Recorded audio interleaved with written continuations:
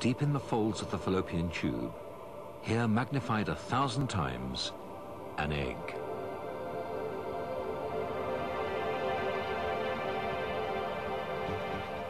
As they get near, the sperm are lured towards their goal by a chemical signal sent out from the egg.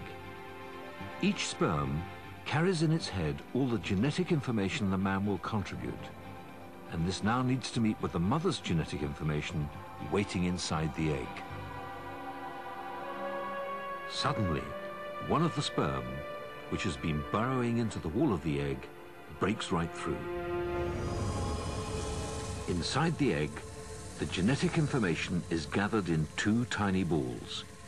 Details from Philippa are in one, and from Jeff in the other. In a moment, the information will fuse together. And the instant that happens, the unique inherited characteristics of a new life will be fixed.